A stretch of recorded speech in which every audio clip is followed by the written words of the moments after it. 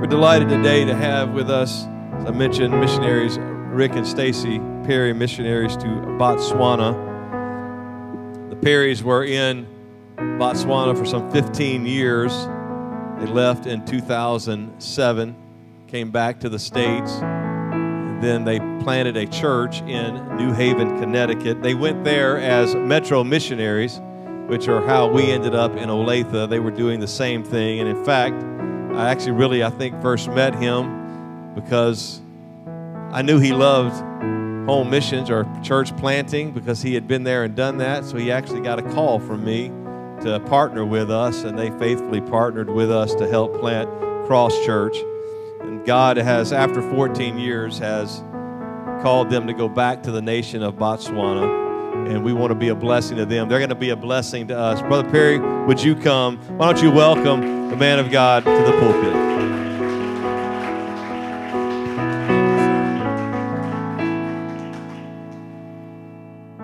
My goodness. I love going to church. Mm. I love going to church. Amen. I meant to get up here and say, I'm a Medimo Bakwe. Buona Safiwe. Gloria a Dios. Praise the Lord for the rest of us. Amen. It is good to be in the house of God. I, if you would like to be seated, you may be seated. If you want to stand the entire time, it won't disturb me one bit. Amen. But it is so good to be here. And if you are a guest here today, can I just say you're in the right place? You have found a great church with a great pastor and pastor's family. And uh, my goodness, I didn't know the skills. Uh, I leaned over to my wife. I said, That girl can play and she can sing. Amen. And uh, I'll leave the pastor alone. He he plays with buttons good. I'm wondering what what'll happen if I start pushing. Probably shouldn't do that. I, I, uh, yeah. Anyway, but uh, it is so good to be here. I'm going to try to be as time conscious as possible. I cannot promise that God will do the same, but I am believing for a move of the Holy Ghost here today. And if you're here and you've never received the baptism of the Holy Ghost, today would be a good day for that to happen. Amen. But I do believe that before we leave here today, God's going to speak to each of us.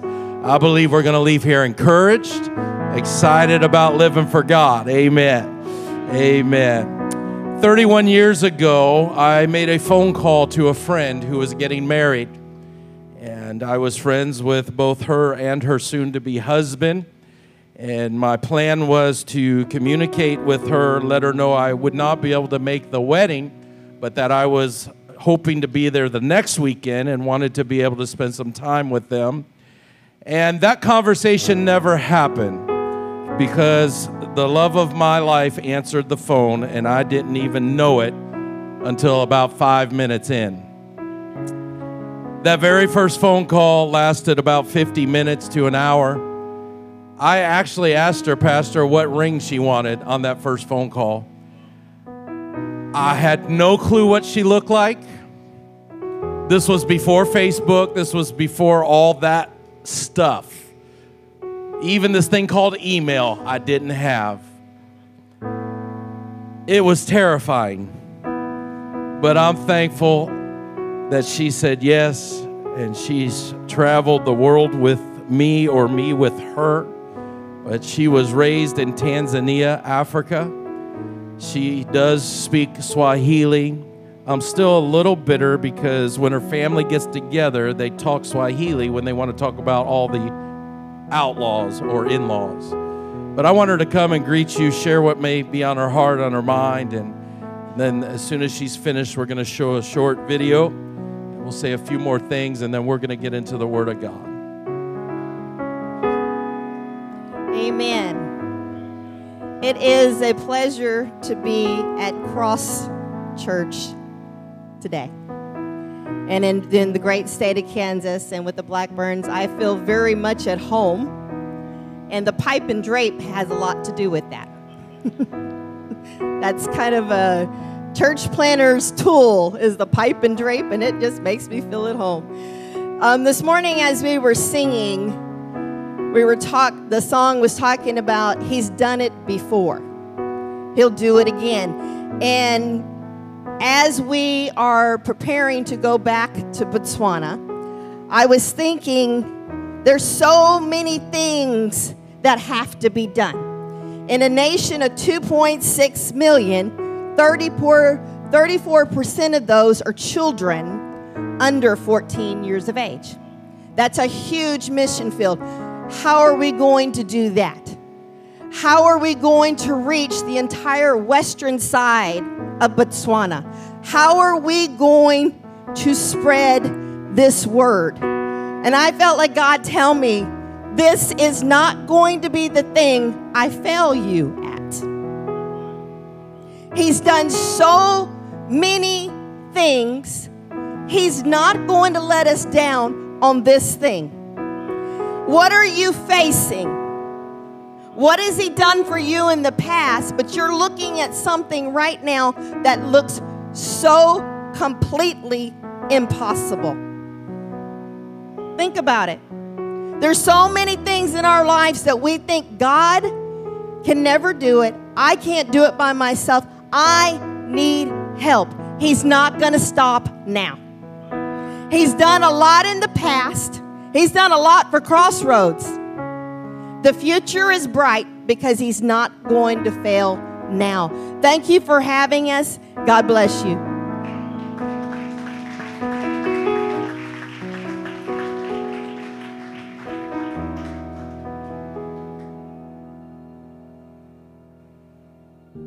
Thirty years ago, God called my wife and I to the nation of Botswana in southern Africa where we entered into the AIM program of the United Pentecostal Church. During those early years, we saw so many miracles, so many things happen that the only thing you could say is God did it. Botswana is a beautiful country in the desert with the Kalahari Desert at its center. Very young country, it's only 57 years old. When I arrived there, it was only 27 years old.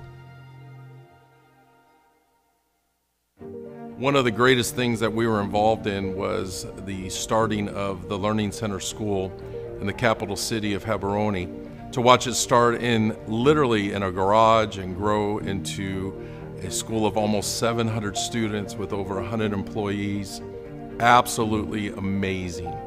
And when you go there today, and so many of those students are now members of government, there's doctors, there's lawyers, these are now business people that are, are doing tremendous things in that nation. The church in Gaborone started in our house and it started growing and it grew from the house to another location. And watching that grow from 15 to a church in the capital city that was running near 1,000 in attendance at times, the revival that took place, the revival that we were privileged to be part of, will be something we will never forget. And we are just delighted to have been a part of what God has done there in those early years.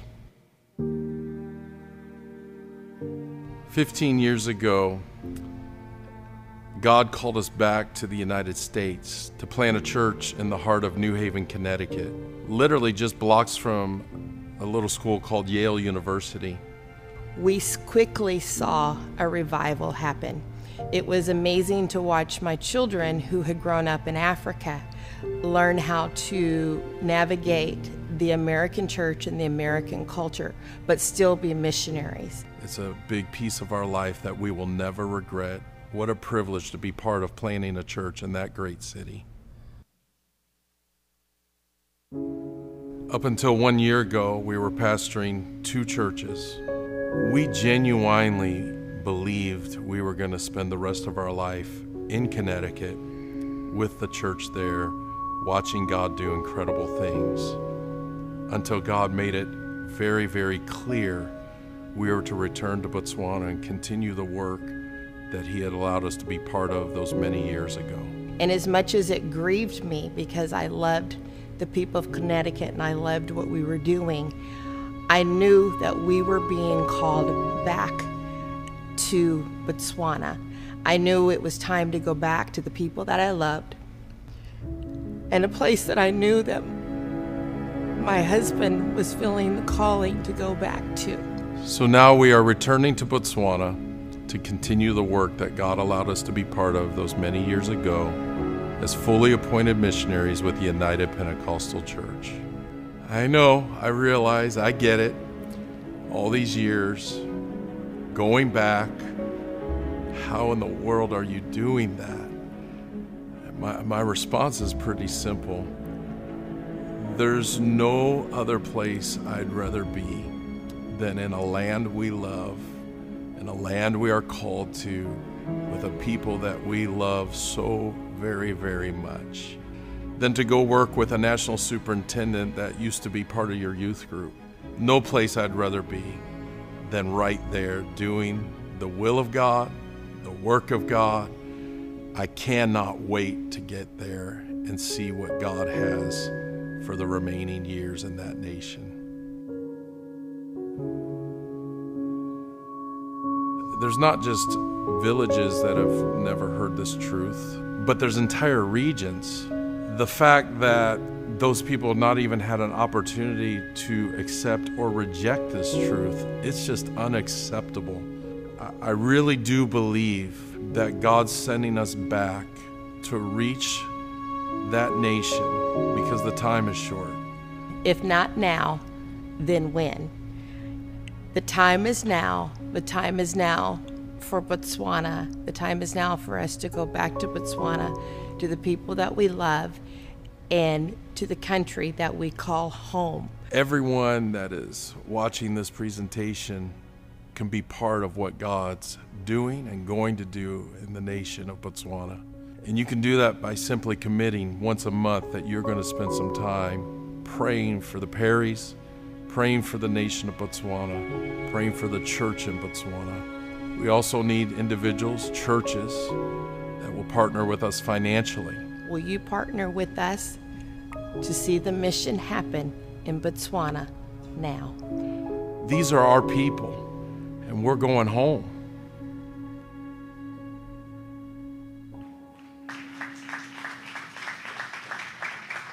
Amen.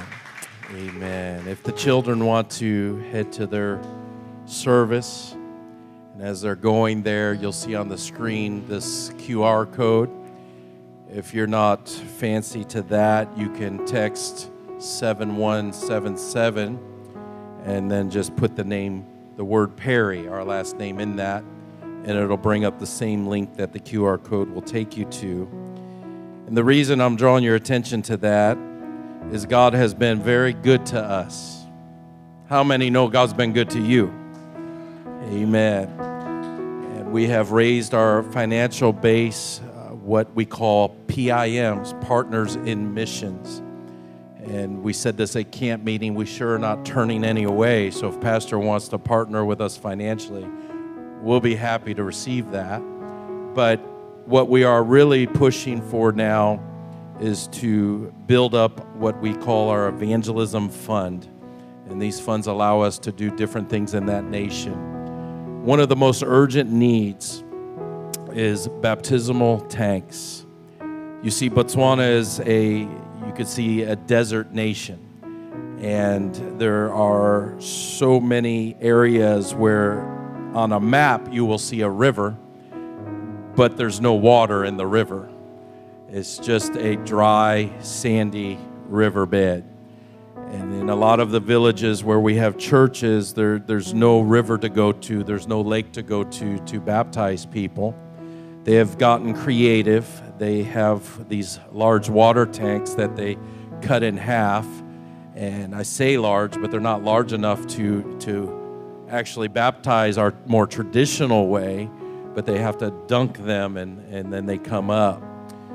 So, what we are striving to do, we have a man in the country that is willing to build a baptismal tanks for us. And the cost of supply is just over 300 US dollars, and uh, close to $100 is his charge. These are made of steel And uh, we are trying to raise as much as we can to buy a baptismal tank for every single church in the country, which is 14 churches.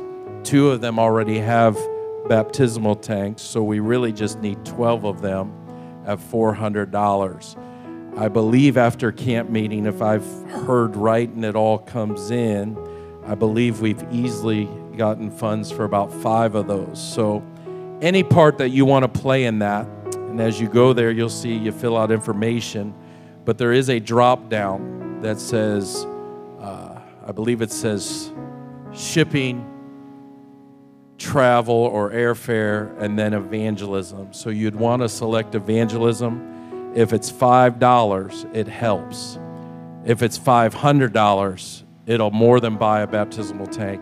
If it's $5 million, I'm never traveling again. But don't give the 5 million through that. Amen. Talk to your pastor about that one. Amen. But I, I do give honor to uh, your pastor. And uh, the Blackburns are just amazing people. And this environment excites us. Five years, and look what the Lord has done. Amen. It's awesome. It's awesome.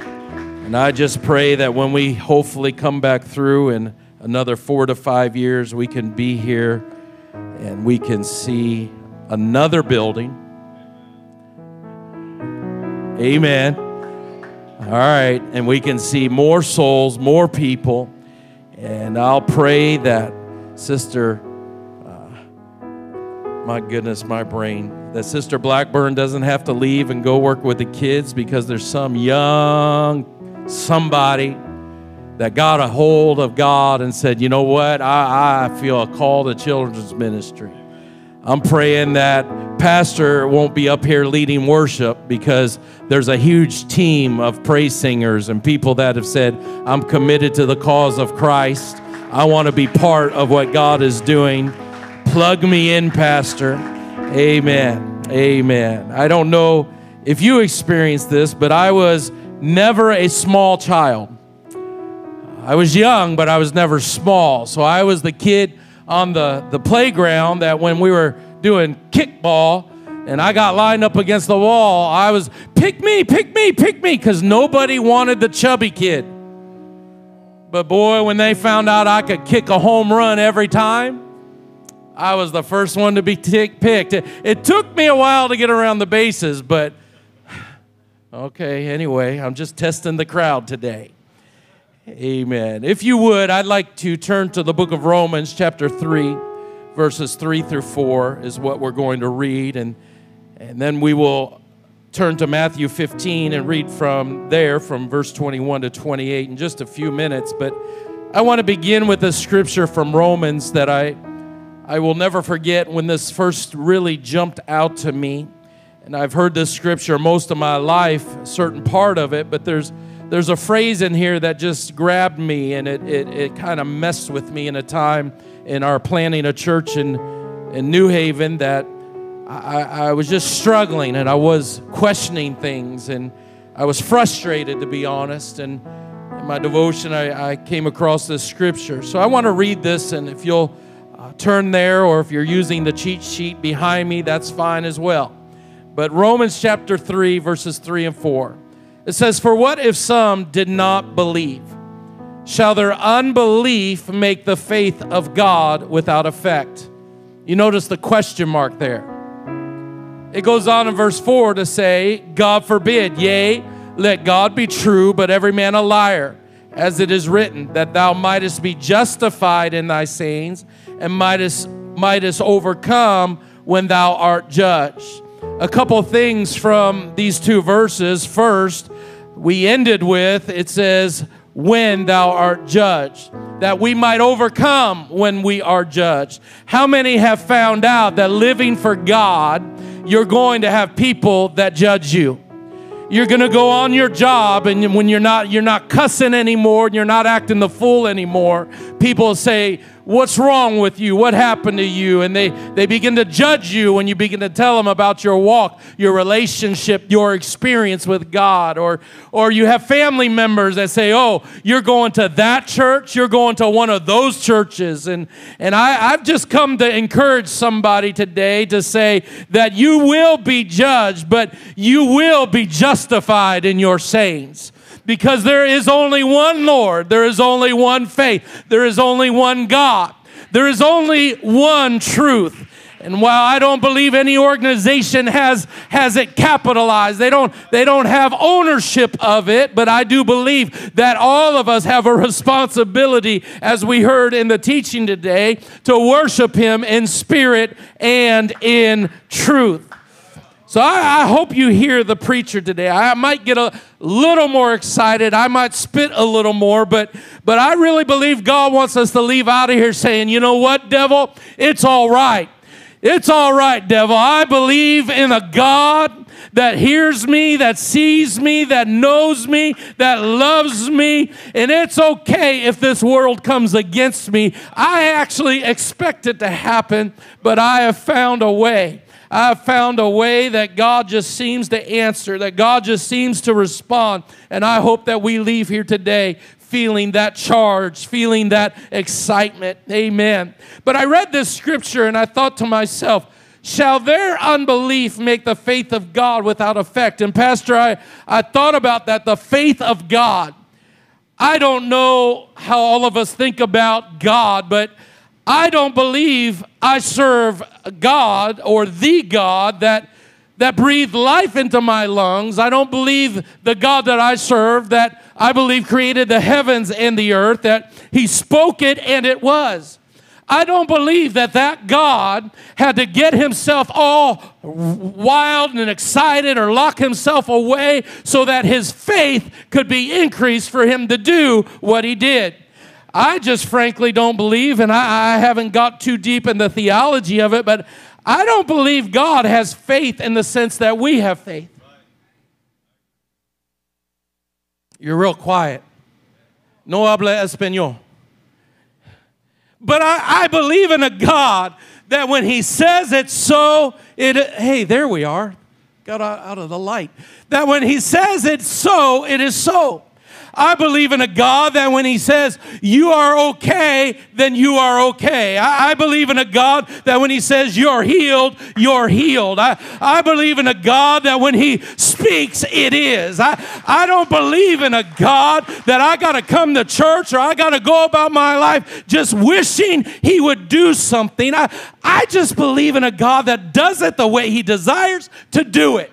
And my role and my responsibility is to simply live the life that He wants me to live, desires me to live. So here in Romans, we're, we're reading that text, and I, I thought to myself, self, this doesn't really make sense. I don't get this, the faith of God. And I, I, I did what any good looking, young, intelligent preacher would do. All right, some got it, some just kept a straight face. And I got on my computer, Pastor Blackburn, and I, I, pushed a few buttons. And, and what I discovered very quickly, if I would read another version of the scripture besides the King James, many versions have already translated it the way it reads in the original language. Because in the original, this faith of God literally is the faithfulness of God. Oh, somebody needs to hear that right now. So, no matter what I'm going through, no matter how much I doubt, no matter how much they doubt, no matter how much I question things, no matter how much the world questions this God stuff, the fact of the matter is it doesn't matter if they believe or not, it does not take away from the faithfulness of God. Somebody should get a smile on your face because it will not take away the faithfulness of God. Yes, it's been a rough week. It's been a rough month. It's been a rough year. Maybe things are not going the way you think. And maybe people are telling you it's because you're cursed or this or that. Can I just tell you, I don't want to hear any of that because none of it will take away from the faithfulness of God. My God has been faithful. My God will remain faithful. He is the same yesterday, today, and forever. And if that is true, He is still the faithful God. Somebody today needs to walk out of here saying, All right, devil, I don't care what you bring my way. I don't care what you're trying to say. I don't care what you're trying to do in my home, in my family, my job, my life. I am going to worship the faithful God. That's all good and exciting, but there's a story in Matthew chapter 15 I want to read, verse 21. Pastor actually referenced the story in his teaching this morning. And if you missed the teaching this morning, you missed some good stuff. Amen. I love preaching. I love getting all excited, but there's nothing like getting into the Word of God and learning and growing. Amen. Look at your neighbor and say, I'll see you next week at 10 o'clock right here. Now, don't lie. You're in the house of God. Amen. Hallelujah. Uh, that was free, Pastor. I'm just, you know, yeah. Amen. So, here in the, the book of Matthew 15, this is a story that many of us are probably familiar or we've heard portions of it, but rather than just tell the story, I want to quickly read it. And it's from Matthew 15, starting at verse 21. And it says, Then Jesus went thence and departed into the coast of Tyre and Sidon. And behold, a woman of Canaan came out of the same coast and cried unto him, saying, Have mercy on me, O Lord, thou son of David. My daughter is grievously vexed with a devil. But he answered her not a word. And his disciples came and besought him, saying, Send her away, for she crieth after us. But he answered and said, I'm not sent but unto the lost sheep of the house of Israel. Then came she and worshipped him, saying, Lord, help me. But he answered her, or but he answered and said, It is not meet to take the children's bread and cast it to dogs. She said, Truth, Lord, yet the dogs eat of the crumbs which fall from the master's table. And Jesus answered and said unto her, O woman, great is thy faith, be it unto thee even as thou wilt. And her daughter was made whole from that very hour the story of the Canaanite woman. I don't know if you're familiar with, with what a Canaanite was. A Canaanite was not necessarily a nationality, but Canaanites were a group of people. In modern day today, they would be from the area of, of Jordan and, and of Palestine and, and that area. And, and they were a people almost that were nomads and, and this woman was one that typically, you kind of like some of the teaching, the woman at the well, typically the Jews would not look very well upon her. And here the disciples are with Jesus in this space they were in.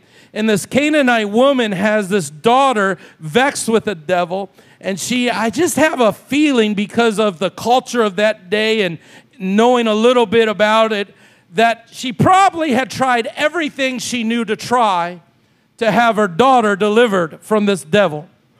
I, I, just have a feeling she probably tried every kind of traditional medicine, as we would call it in Africa. I think the more modern language is witchcraft. And she, she had no luck. And, and now she heard about this Jesus. And something in her said, if I can just get to this Jesus, I'm believing that everything's going to be okay. Now, I don't know if you've ever had a child vexed with the devil. Any parents here? If you're a parent, would you just lift your hand? You, you have children? All right, I want to know the audience that I'm okay. So there's enough of us that I think you know the feeling. My wife and I have two children, a son and a daughter. My daughter's the oldest, son the youngest. And, and we would do anything, Brother Brown, for our children. I, I would do whatever I had to do for my children. Even today, I still will do whatever I can do for my children. And in those years that we were in Botswana previously, there wasn't a lot of uh, shopping. There was not a lot of places to go to buy our kids clothes. There certainly were no toys. And uh, there was no ice cream most of the time. It was just awful. But when we would come home to the States, Pastor, we would save up every penny we could because we were going to stock up on clothes for the kids. We would maybe buy a toy for them from us, but grandparents took care of most of that. But I'll never forget the day. And, being a PK, I don't ever, I try not to use my children's names and use them in illustrations. And, and I, I'm not going to use their name to tell you which one, but she would, she would throw these fits. And I'll never forget, we were in a Toys R Us, and I dared to say no. She threw herself on the floor and began to kick, scream, yell, I want it, Dad, but I want. And I picked her up and I put her in the shopping cart and I said, Girl, if you don't want to be locked up another week, you will not do that. And then my wife comes over and says, You got to stop saying stuff like that. They're going to arrest you. I said, How are they going to find me? We live in the Kalahari Desert. Good luck. But for the record, we never locked our children up, okay? But while my daughter was not vexed with the devil, she was vexed with herself. I can't imagine what this Canaanite woman was going through. And I, I, even in that situation with my daughter, my heart, you know, I'm a, I'm a softie. She, she is daddy's girl, and I, I want to get her anything she wants. But I, in that moment, I don't know what came over me. I just said no. But this Canaanite woman was not in that situation. She was in a situation where she was desperate for something to change in her situation. She was desperate for God to do something to change the situation.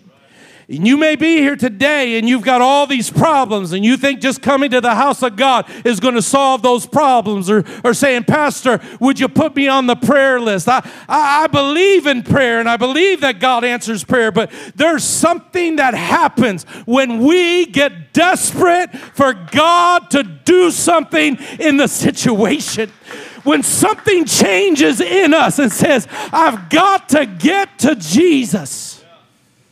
And here in this story, and I hope this is all right that, that I just kind of hang here for a minute because this Canaanite woman has taught me so much because this Canaanite woman comes and she's in the presence of Jesus and she cries out to him. And I was in this spot in my life, in my ministry. I'd been crying out to him. I'd been fasting. I'd been seeking for God to speak. And just like so often in my life, Pastor, he is, he is just so quick to, to respond this way.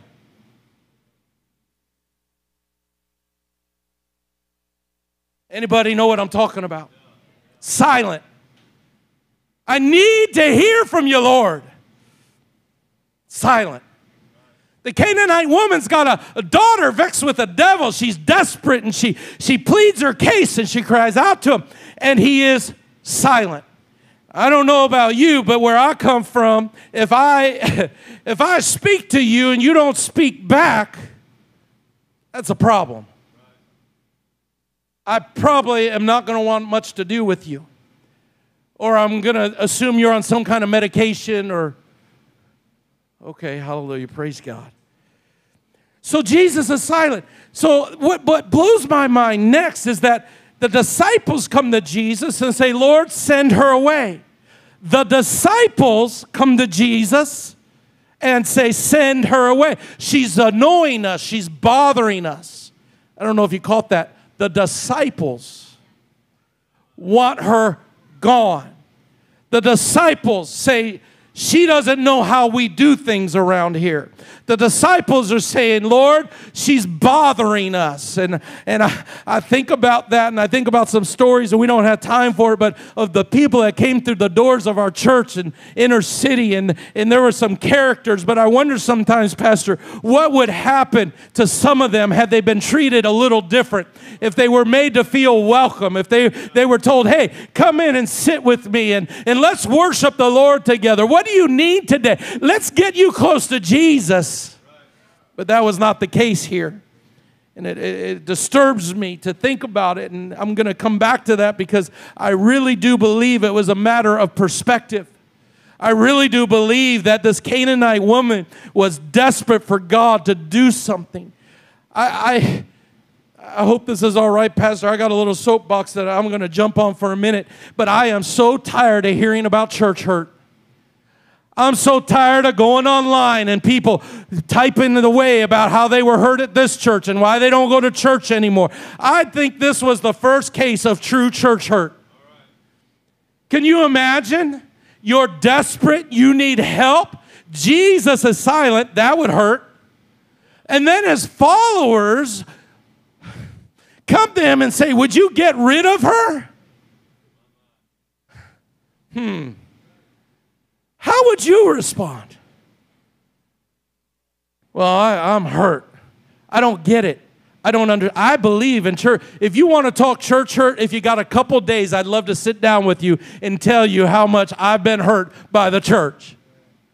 It's real, it exists. But what I find amazing is that people will leave the church. Young people hear this missionary today. People will run away from the church. They will leave the church because of church hurt. Where else are you going to find church hurt but in the church? Uh, I'm, I'm going somewhere with this. How many times have you heard about hypocrites in the church. I literally have had people say, I don't go to church. I don't believe in organized religion. There's so many hypocrites. Where else are you going to find hypocrites but in the church? Okay, I'm just trying to help somebody. But what blows my mind is that I never saw what I saw in this scripture. The Canaanite woman's response to the perceived hurt was not one of exit, but it was one of exaltation. It was one where she said, I hear the disciples and I, I don't see your mouth moving, Jesus, but I know what you want from me. And I have a revelation in my desperation of who you are. And even if you remain silent, even if your disciples want me to leave, what did the scripture say? We read it. Then she came worshiping. There's something that happens in the atmosphere when things are not going right, when we don't think it's playing out the way it should, that if we'll just come to Him and worship Him, if we'll just get our eyes locked on Jesus and say, Lord, whether you heal my daughter or not, I'm going to be a worshiper of you. Lord, whether your disciples want me here or not, I'm going to be a worshiper of you. Somebody hear this today. I'm not going to be much longer. We don't have time for you to figure it all out. But I do believe God's wanting someone to hear this today that before you leave out of here, you say, You know what, devil? I'm tired of the lies and the distraction. I'm tired of your nonsense in my home. I'm tired of your attack on my life. It's a distraction. I'm getting my eyes on Jesus, Pastor, and I'm going to be a worshiper. I'm going to come to the house of God and I'm going to lift my hands. I'm going to lift my voice. When I wake up on Monday morning, I'm going to say, Thank you, Lord, for another day. I celebrate you, Jesus. I'm a worshiper of you, Jesus. There's something that happens when we worship. I'm not discrediting any other, you know, prayer time. I'm not discrediting other things we know in Scripture. But what I have found is that there's something about worship. Worship keeps me focused on the, the priority, on, on the one that I live for.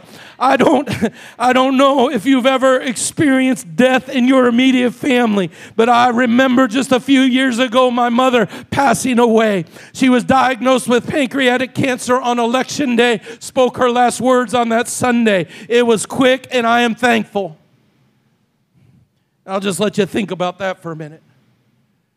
But I will never forget the night that I put my hands on her head and I prayed and I said, Lord, you're a miracle working God. Lord, I know you can raise her up out of this and you can heal and give her a new pancreas. You can take all the cancer out, Lord. I know that you're a miracle working God.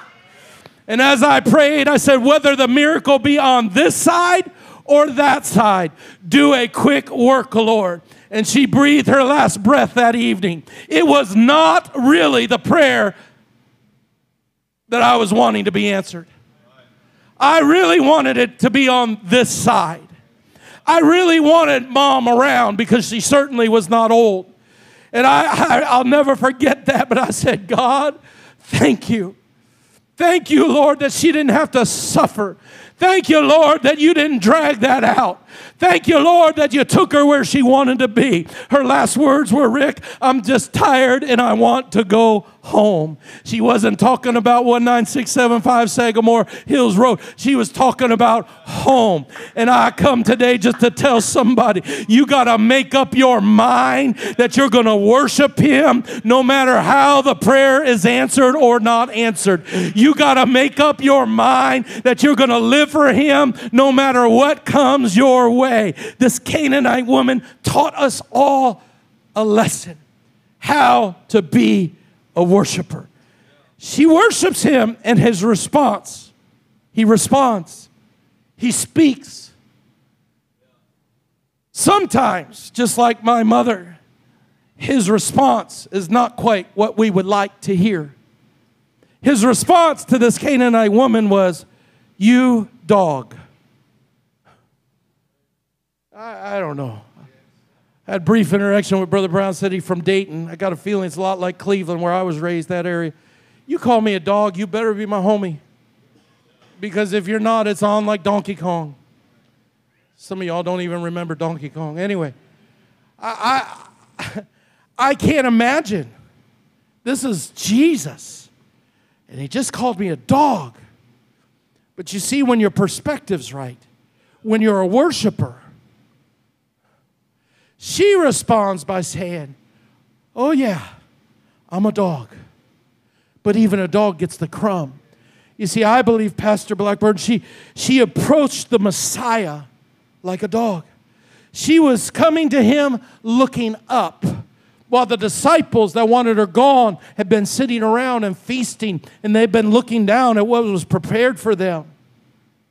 She didn't really know what all was on the table. She didn't really know what all she could have from him, but she was looking up at him and saying, Lord, I may be but a dog, but I know if I can just get a crumb. You see, this thing called doubt, I want us to consider his faithfulness today. Your unbelief will not take away from the faithfulness of God the fact that you feel like you failed Him, it does not take away from the faithfulness of God. The fact that you feel like you can't ever live this life, it does not take away from the faithfulness of your God. Your unbelief.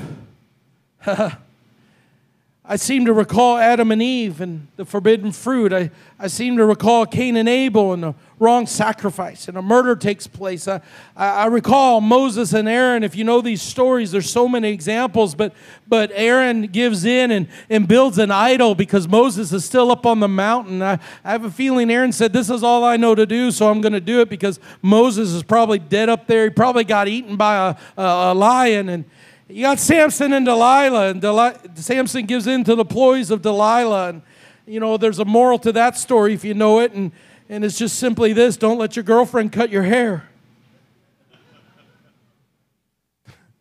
David and Bathsheba, if you know the story, you know the story. David, not only an adulterer, but a murderer. Peter, Peter preached the greatest message ever preached in Acts chapter 2. But yet, Peter was the one that denied him not once, twice, but three times. But yet, God remained faithful to them. I am so thankful that my doubt, that my unbelief did not take away from the faithfulness of my God. Would you stand with me? There's a story as you're standing that I want to share from, that I read about from the end of World War II. And the story goes as the liberators were clearing Cologne, Germany, they went into a particular cellar of one of the homes and they found etched on the walls these words. It said, I believe. I believe in the sun even when it's not shining. I believe in love even when I feel it not. And I believe in God even when He is silent.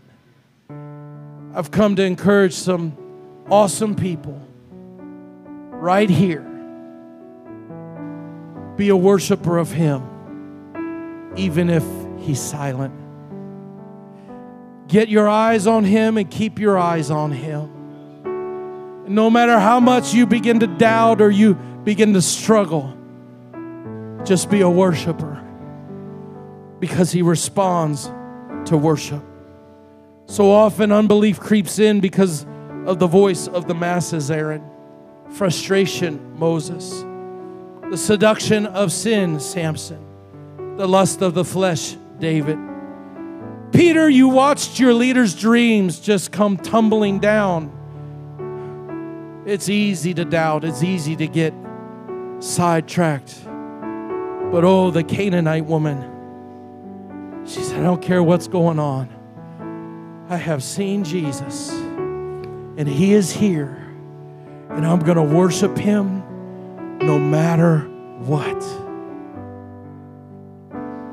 If you're here and you've been struggling, and perhaps this is something that is new to you, Pastor mentioned it, he taught on it this morning. God's looking for people that will live a life of repentance unto Him. I believe that the scripture is true that if we ask Him to forgive, He is faithful and just to forgive.